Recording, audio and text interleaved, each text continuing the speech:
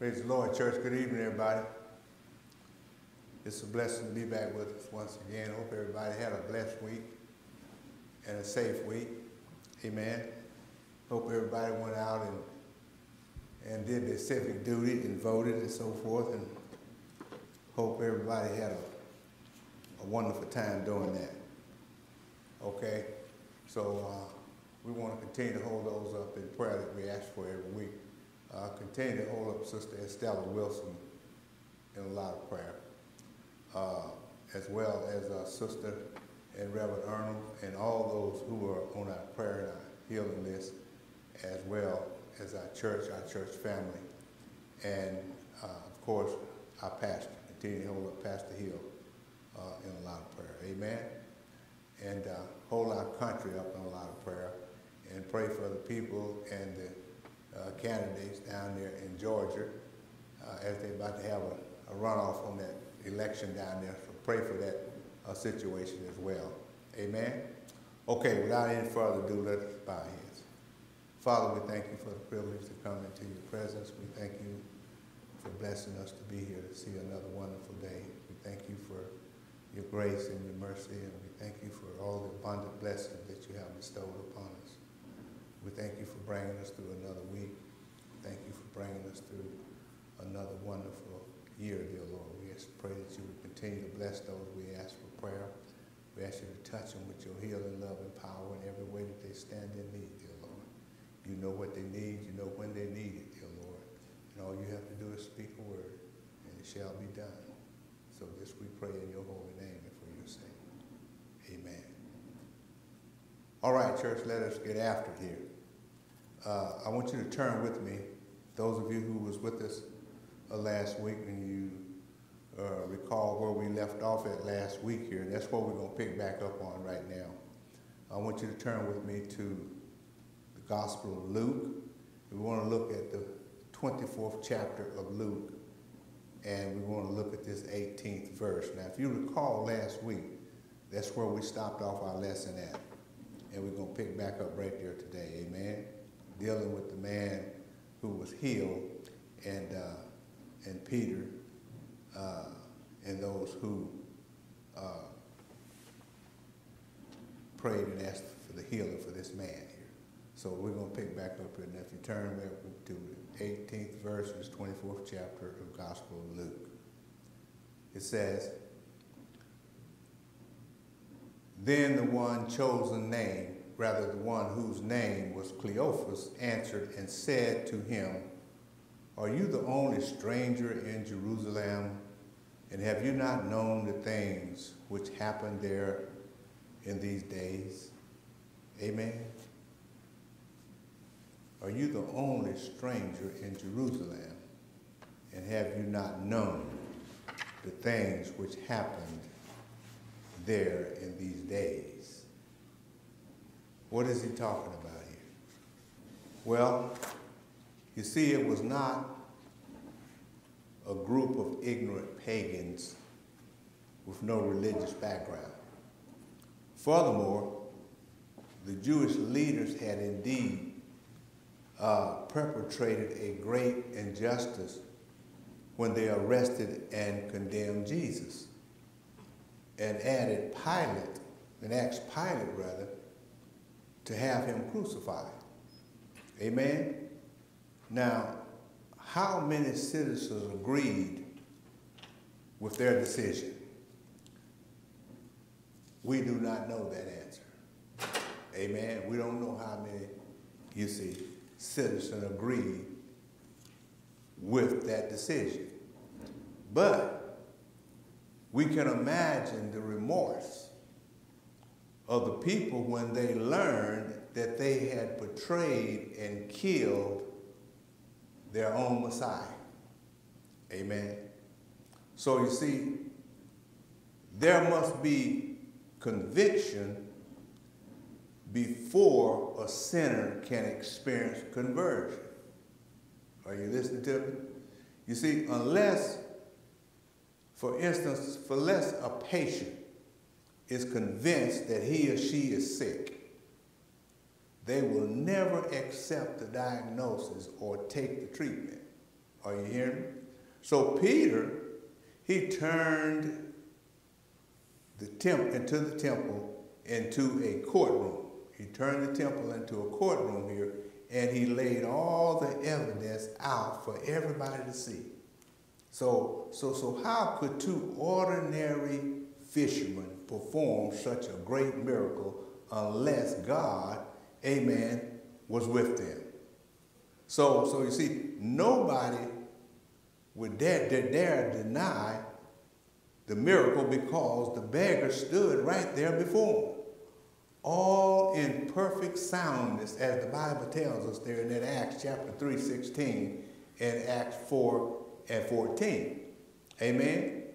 So, so to accept the miracle would have been to admit that Jesus Christ is indeed the living Son of God and that his name has power. Amen? But watch this. Peter did not leave the people without hope. Amen? He didn't leave them without hope. So, so in fact, he almost seemed to defend them by pointing out that they had acted in ignorance while at the same time they had fulfilled the word of the Lord. Amen. that's why I always say, you are never without hope in Jesus Christ. It doesn't matter what the circumstances are. If, if you're a Christian, you are never without hope in Jesus Christ. Now I want you to turn with me and look here in verses 17 and 18 of this third chapter of Acts. Look what it says here. Verse 17 through 18 in the third chapter. Verse 17. Yet now, brethren, I know that you did it in ignorance, as did also your rulers. But those things which God foretold by the mouth of all his prophets that the Christ would suffer, he has thus fulfilled. Amen? He has thus fulfilled. In other words, you see, Old Testament law, amen? In Old Testament law, there is a difference between deliberate sin and sin of ignorance. Amen? There is a difference between deliberate sin and sin of ignorance, according to Leviticus 4 through 5. Amen? And also Numbers 15 and 22 talks about that. You see, so, so the person who sinned presumptuously, which means that's a person who fails to observe the limits of what is permitted or appropriate. Okay? So, so, so the person who sins presumptuously was a rebel against God and was guilty of great sin. All right? So, so he was to be cut off. He was to be cut off from his people. Amen? Right there in, in Numbers chapter 15, verse 30 through 31, which could mean excommunication and even death. Amen? So, the defiant, high handed sinner, watch this closely, was condemned. But the person who sinned unwittingly, without deliberate intent, he was given opportunity to repent and seek God's forgiveness. Okay? So, so now please, just so we're clear here, Ignorance does not remove the sinner's guilt, okay? But it does mitigate the circumstances. Amen?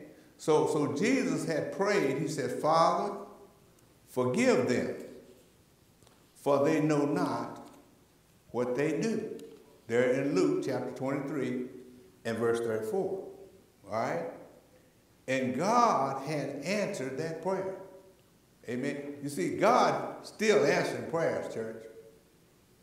So don't ever stop praying. Just because your prayer might not get answered in the time that you think it should, amen, something is happening where you can see it or not. God still answers prayer. Pray always. The Bible said, pray without ceasing. Amen. Pray always. Rejoice. Pray always. Everything give thanks. For this is the will of God in Christ Jesus concerning you. Don't never stop praying because God is hearing those prayers. Amen. And he knows exactly the right time to answer those prayers. And look what it said. And God had an, and God had answered that prayer. So instead of sending judgment, look what he did. He sent the Holy Spirit to empower his church and to convict lost sinners. You see? So you see, Israel's situation was something like that uh, of the manslayer, okay, who killed his neighbor without malice intent and fled to the nearest city of refuge. Now let me show you what he's talking about here. Let me watch this. Here in Numbers 35, let us look at that at, at a few verses of that, beginning here in verses 9 of this 35th chapter of Numbers. Look, look what he says here. Numbers 35, verses 9. Then the Lord spoke to Moses, saying, Speak to the children of Israel, and say to them, When you cross the Jordan into the land of Canaan, then you shall appoint cities to be cities of refuge. Amen? You see, when you, the Lord spoke to Moses saying, Speak to the children of Israel and say to them, When you cross into Jordan, the land of Canaan, then you shall appoint cities to be cities of refuge. That's very important. For you, that the manslayer who kills any person accidentally may flee there. All right? That's a refuge for somebody who killed somebody accidentally. They got a place to go for refuge. Now, that, that's something like uh, uh, extradition. Say, like if you kill somebody here in the city and then you flee, say to Illinois. Amen. Okay, well, that's a place of refuge. Amen. Unless you accept uh, extradition to give up your right and then come back to the place where you committed the crime, they can't do nothing to you in the place where you committed the crime because now you're in another jurisdiction. Are you hearing what I'm saying? So you're in a place of refuge there. Now I'm not saying eventually you won't have to come back, but but you, you can you can stall that off. Amen. You, you, can, you can refuse to go back to that jurisdiction. Okay? Now let me finish reading the scripture here for you. In verses 12, he said, They shall be cities of refuge for you. Amen. They shall be cities of refuge for you from the avenger. Amen. That the manslayer may not die until he stands before the congregation in judgment. So, in other words, you see, so long as he remained in the city, he was safe. For then the avenger could not reach him and kill him. Amen. He was free to go home only after the death of the high priest. So, so Peter, Peter invited these murderers to flee by faith to Jesus Christ and find refuge in him. Amen. There is refuge in Christ. Okay? Amen. There is refuge in him. You see, here in Hebrews chapter 6 and verses 18, let me read this to you from my uh, Christian Standard Bible, if you will. Amen.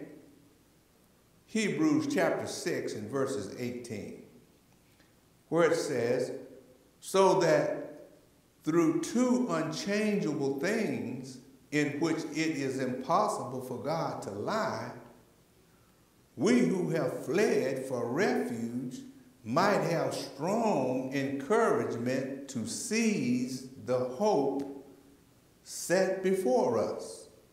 Now, in his previous sermon here, Peter had explained that the cross was the meeting place of divine sovereignty and human responsibility. That was in his previous sermons over there in Acts chapter 2 and verses 23. Amen. He, he said, though he was delivered up according to God's determined plan and foreknowledge, you used lawless people to nail him to the cross and kill him. And then he, he repeated this truth in this, in, in, in this second sermon there in Acts chapter 3, verse 17 and 18. Amen. And again, I'm going to read it to you again here from my Christian Standard Bible. Look what it says, where he says, And now, brothers and sisters, I know that you acted in ignorance just as your leaders also did. Verse 18. In this way, God fulfilled what he had predicted through all the prophets that his Messiah would suffer. Amen. Now, there are mysteries here that the human mind cannot fully understand. Okay? So we must accept them by faith. We must accept them by faith because the human man cannot fully understand this, you see. Amen? You see, God had a plan from all eternity, yet his plan did not force men to act against their own will. Amen? So the prophet had foretold the suffering and the death of the Messiah, and the nation fulfilled those prophecies, you see, without realizing what they were doing. Amen? So when God cannot rule, guess what?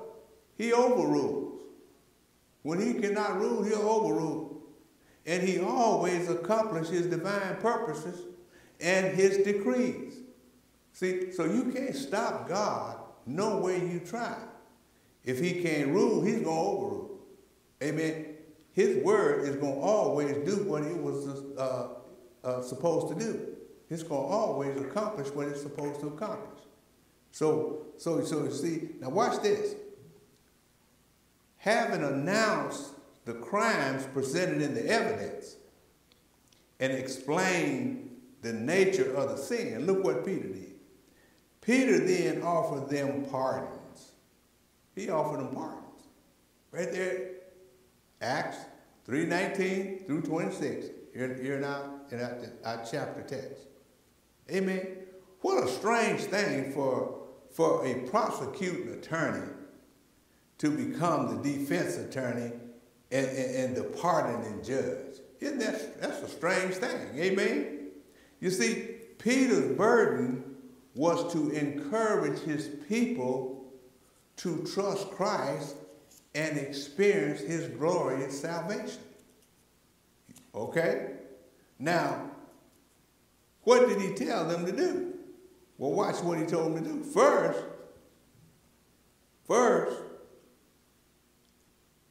they had to repent. They had to repent of their sins.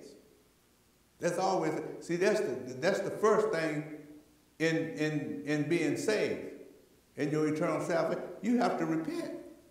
Repent from your sins. Amen. You see, Turn, that means to turn away from your sins. That means to go a different direction, have a different mindset about it, have a different mindset about your sins and your, and, and your Lord. Amen? You see, that's the first step, is repent. You first got to repent, you see. So, what did he tell them to do? First, repent from your sins. Watch what he told me. Go with me again to, to this uh, second chapter of Acts. We want to look at verses 38. Acts 2 38. Just for a moment. Look what he says. Acts 2.38. Still reading from a Christian Standard Bible Church. Listen. Peter replied, Repent and be baptized, each of you, in the name of Jesus Christ for the forgiveness of your sins, and you will receive the gift of the Holy Spirit. Amen? And you will receive the gift of Now, as I just indicated, repent means to turn around, turn over a new leaf, have a change of mind, amen, about yourselves, about, about your sin, and about Jesus Christ. Amen. Acts 5 and 31 in the NIV says, God exalted him to his own right hand, a prince and savior, that he might bring Israel to repentance and forgive their sins. Amen. And forgive their sin. Let me, let me just give you one more scripture. Would you do that? Look at Acts chapter 17 in verse 30. I'm reading from the NIV now. Okay? This is from the NIV. Acts chapter 17 and verse 30. This is what it says. In the past, God overlooked such ignorance, but now he commands all people everywhere to repent. Amen. People everywhere to repent. You see? Which means to have a change of mind. Amen. A change of mind of themselves, their sins, and Jesus Christ. You see, repentance is much more than feeling sorry for your sins. As, the, as a little Sunday school girl once said, it means feeling sorry enough to quit. It means being sorry enough to quit. Amen. You see, false sorrow for sins could be merely regret, which means that I'm just really, I'm sorry I got caught. Amen. I'm just, I'm sorry, but I'm sorry I got caught. Not because I am truly sorry from my heart. That's not godly sorrow. Amen. Our remorse, you see, or remorse, I, I feel terrible.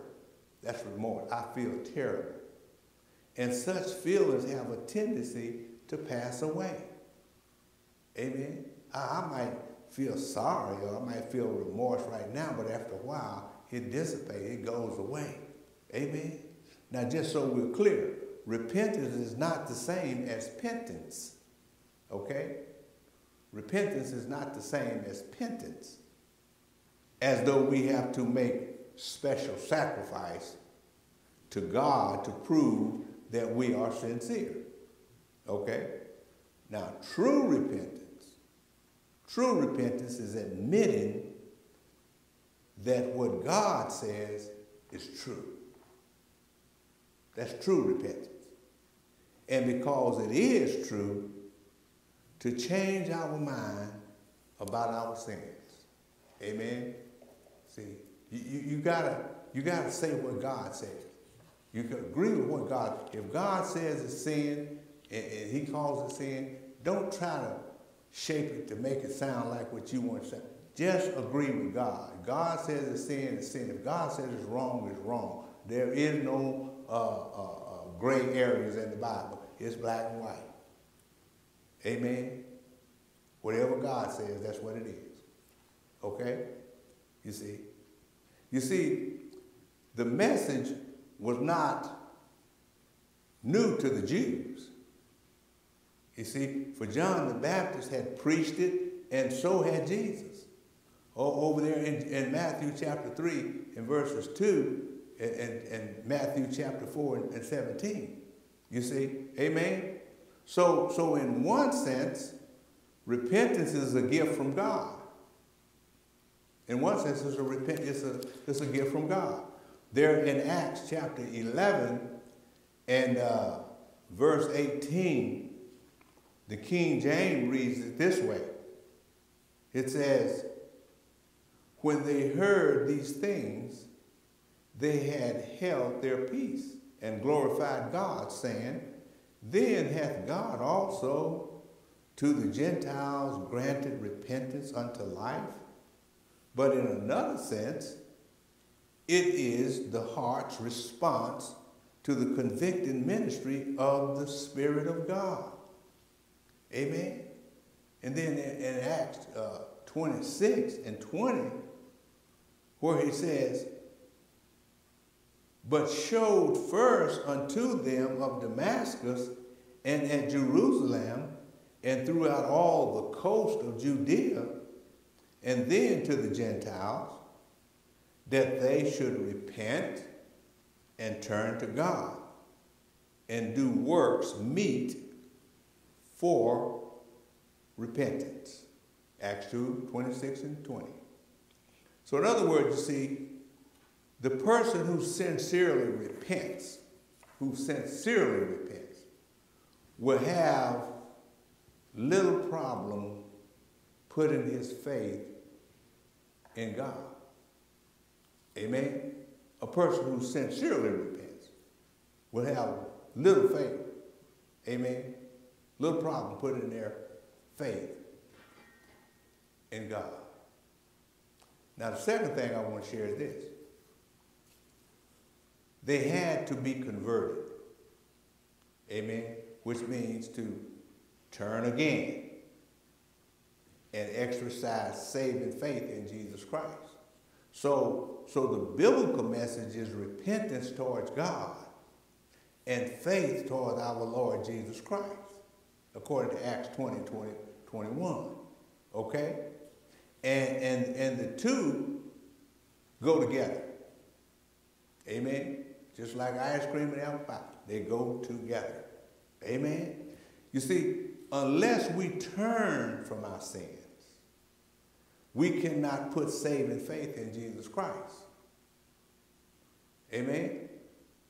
Bible said without faith it's impossible to please him. So it is unfortunate that, that, that some, and I, so when I say unfortunate, I really mean it's unfortunate, that some preachers have so ignored the doctrine of repentance that their converts lack the sense of conviction of sin. Amen? You know, some people just keep doing the same thing over and over and over again. No matter how much you talk about sin, no matter how much you talk about repentance, no matter how much you talk about forgiveness, they keep doing the same thing over and over again. Amen? They have no sense of conviction of sin because they haven't really been taught, amen, you see, the process of, of, of repentance. Are you listening to what I'm saying? Now watch this. Balanced evangelism presents to the sinner both repentance and faith. I said balanced evangelism. All right? Now Peter announced what would happen if they repented. Look what he said. He says, and turn to Jesus Christ in order that your sins may be blotted out. That's what will happen if you repent and ask for forgiveness. Jesus said he will blot out your sins. He'd throw them in the sea of forgetfulness, never to remember them again. Amen? In, in, in order that the times of refreshing, he said, may come from the presence of the Lord. So, so in order that he may send Jesus Christ, that's the literal translation. Amen. There was a promise for the individual, amen, sins forgiven, and a promise for the nation, times of spiritual refreshing. You see. So Peter was actually calling for national repentance here. He said, for the nation through its leaders and denied its Messiah and condemned him to die. So the declaration is that if the nation repented, and believed, then the Messiah would return and establish the promised kingdom. Amen? So the nation did not repent. And certainly God knew this would happen. Amen? He knew it. So the message here is eventually moved from the Jews, amen, to the Samaritans. Amen? Over there in Acts 11 and to the Gentiles as well, there in Acts chapter 10. If you just write those down and read those, and you see exactly what I'm talking about. Now, the emphasis in Acts 3:22 through 25, which we covered in a lot of detail, if you've been following along with me. Amen. You see, when we were in, in that particular chapter. Now, okay? Now it is on the prophets who had announced the coming of the Messiah. Peter quoted from Moses there in Deuteronomy chapter 18 verse 15, as well as chapter, I mean verses 18 and 19. And I think that's where we're going to leave that for right now and then we'll come back next week and we'll, we'll pick back up there, okay? We'll pick right back up here in Deuteronomy, chapter 18, verse 15, as well as verses uh, 18 and 19. So that's where we're going to break it off, and that's where we're going to come back next week pick it up there, okay? All right, may God bless you. I hope this is making sense to us, and I hope you really is following along with us, all right? So now I want you to continue to pray for those now whom we've asked for prayer. Amen. I want you to uh, also uh, pray for uh, uh Brother Cole's family. You know, uh, Pastor announced that uh, Brother Cole went home to be with the Lord now. many of you have heard him talk about Cole for a lot of time because he was somebody whom Pastor known for an awful long time that did an awful lot of, a lot of work for Pastor and uh, he was a really great person. So we want to continue to pray for his family as well. Amen. So pray for those we've asked for prayer on our prayer and our healing list. Okay. Now, as I always say, we never like to close our uh, lessons out without someone who might be listening to us who don't know Jesus Christ as their personal Lord and Savior. Amen. Now, we all need to be saved. Everybody needs a Savior because when we leave this world, we have to have somewhere to go, and there's only two locations. Either there's heaven or there's hell. Amen. You can make your choice right now as to which one you want to go to. All you have to do is say, Lord, confess with your mouth that, that you are a sinner and that you believe that Jesus Christ is the Son of God and that he went to the cross and he died for your sins. Amen. And then you ask him to, Lord, come into my heart and be my Lord and Savior. Okay? And if you say a prayer like that and you really mean it, really mean it, and then get baptized. See, baptism is just publicly identifying that you are a Christian and that you are uh, believe that Jesus Christ is the Son of God. That's all baptism is. Baptism does not save you. It publicly identifies you, amen, with Jesus Christ. Okay? So, so if you are listening and you know that you're not saved, I wouldn't put that off. Because one day we're going to leave this world. We need somewhere to go. Amen. And as I said, there's only two locations, so you have to choose right now. Amen. Okay. God bless you. May God keep you and may his face shine upon you. Have a blessed week, safe week, and come back with me next week and let us finish unpacking this. Amen. Let us bow our head. Dear Lord, we thank you once again for the privilege to come into your presence. Thank you for what you've shown us in your word today. And we just pray that you uh, let it illuminate our minds, dear Lord, and let us have a spirit uh, to use it and use it all for your glory, dear Lord. Help us, dear Lord, to understand the things that we don't understand. Because you tell us in James 1 and 5, and if you like wisdom, let it ask of God, and he will give it to you. Amen, unapproachably. So just ask God, and he'll give you exactly what you need. So we just thank you, Father, for the privilege. So bless us now as we leave here today, and bless us to come back again next week at the next pointed out. As we pray in your name and for your sake. Amen. God bless you. God keep you. Have a blessed week. Talk to you next week. Amen.